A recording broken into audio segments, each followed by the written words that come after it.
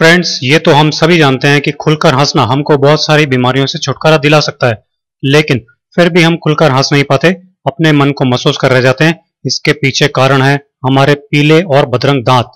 तो चलिए देखते हैं आज का ये वीडियो जो आपके बहुत काम का है। नमस्ते, मैं हूँ सचिन गोयल और लोक कल्याण के लिए चलाए जा रहे इस कार्यक्रम में आपका स्वागत करता हूँ। जी हाँ दोस्तों, आपको शायद मालूम नहीं है, लेकिन आपके घर में ही रखी हुई बहुत कॉमन और बहुत सस्ती रसोई की चीज़ों को यूज़ करके आप अपने दांत मोतियों जैसे सफ़ेद और सुंदर बना सकते हैं। चलिए, मेरे साथ इसे बनाकर यूज़ कीजिए और देखिए इसका कमाल।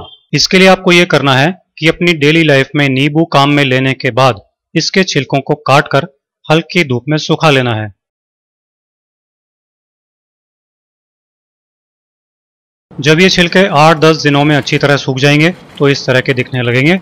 अब आपको इन सूखे हुए छिलकों को मिक्सी में पीसकर पाउडर बना लेना है।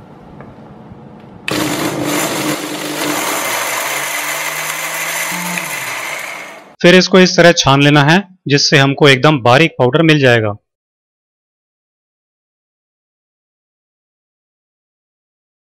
अब हम नींबू के छिलकों के इस पाउडर की तीन चम्मच एक कटोरी में ले लेंगे और इसमें हम डालेंगे एक चम्मच नमक और इसे अच्छी तरह से मिक्स कर लेंगे।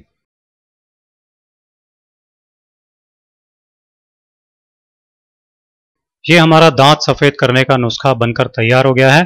अब आप इसको यूज़ कैसे और कब करेंगे?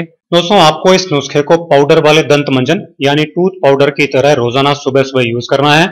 आप इसको ब्रश करने के पहले भी यूज़ कर सकते हैं और ब्रश करने के बाद भी यूज़ कर सकते हैं। ये आपके दांतों को पहले दिन से ही चमकाना शुरू कर देगा और डेली यूज़ करने से 10-15 दिनों में दांतों का पीलापन पूरी तरह खत्म होकर आपके दांत एकदम साफ़, सुंदर और चमकदार हो जाएँगे। मेरे ऐसे ही बहुत आसान घरेलू नुस्खे देखते रहने के लिए मेरे चैनल सचिन गोयल को सब्सक्राइब कीजिए।